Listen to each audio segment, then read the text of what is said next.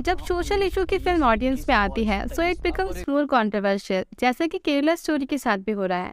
But from the some year I notice कि there is sense of separateness in Indian audience अब चाहे वो किसी भी रिलीजन से बिलोंग करता हो बट ओवरऑल आई नोटिस जो भी कॉन्ट्रोवर्शियल फ़िल्म रही है, उन सभी मूवीज़ को लेकर बीजेपी का एक अच्छा सपोर्ट एंड रिएक्शन रहा। फॉर एग्ज़ाम्पल द कश्मीर पाल को टैक्स फ्री करना एंड खुद हमारे प्राइम मिनिस्टर का इन मूवीज़ के ऊपर लंबा चौड़ा स्पीच देना। This all thing clearly showing the positive support of BJP in that film Okay, let's talk on their statement and find out why they are deeply engaged with this film. Before starting off this video, let us tell you this is my personal opinion on this topic. आपके मुझसे अलग भी हो सकते हैं which is totally healthy and democratic. चाहिए Kerala story के जो निर्माता हैं उन्होंने दावा भी किया है कि ये तीन लड़कियों की कहानी सत्य है और अगर ये यथार्थ पर फ़िल्म बनी आई सपोर्ट और हम यही कहेंगे कि सत्य का उजागर होना ही चाहिए। Number one statement of Modi according to our prime minister this type of film should be made in India and I think he is right the Kerala story के लिए उन्होंने अपना पॉजिटिव रिस्पॉन्स दिया and same response Kashmir file के लिए भी दिया था। But why he is giving positive response what is exact reality क्या इसके पीछे कोई पर्सनल प्रोपागेंडा है? या ये सच में ज़रूरी है?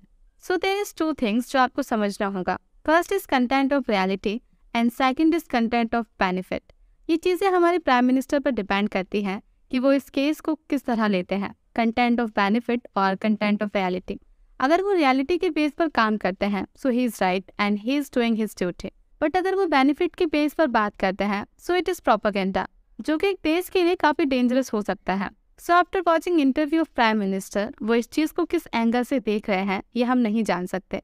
It's totally depend on our prime minister What kind of angle our Prime Minister used to see this film? आप हमें कमेंट सेक्शन में ज़रूर बताएँ। आतंकी साजिश पर बनी फ़िल्म केरला स्टोरी ये केरला स्टोरी की इन दिनों काफ़ी चर्चा है।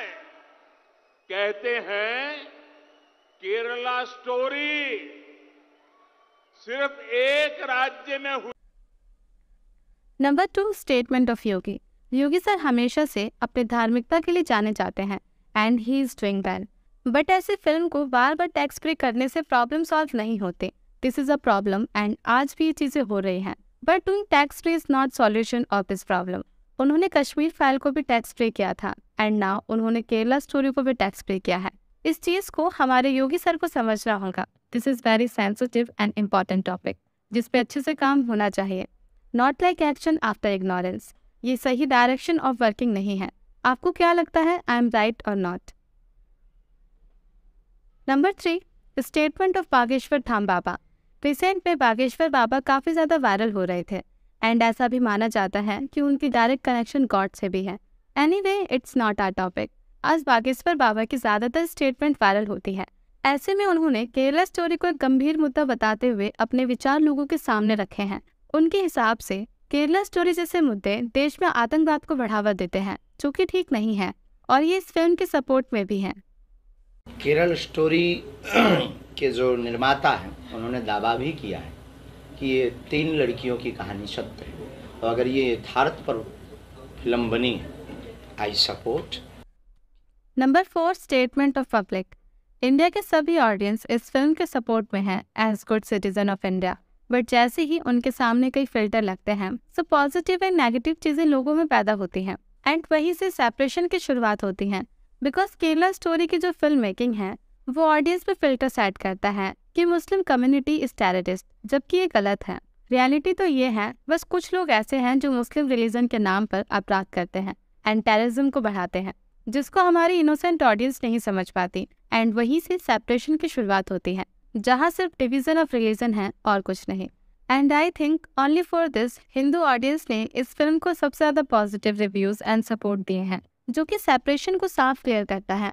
This is very important and and point of this video so listen carefully number five what could be problematic अगर आप एक चीज़ नोटिस करते हैं सो so जितनी फ़िल्म कॉन्ट्रोवर्शियल होती हैं, वो ज़्यादातर फ़िल्म रिलीजन बेस्ड होती हैं एंड इन सभी फ़िल्म में कुछ पर्टिकुलर रिलीजन को टारगेट करके उसे गलत बताया जाता है एंड उन्हें दोषी ठहराया जाता है, वो भी इनडायरेक्टली जो कि सही चीज़ नहीं है।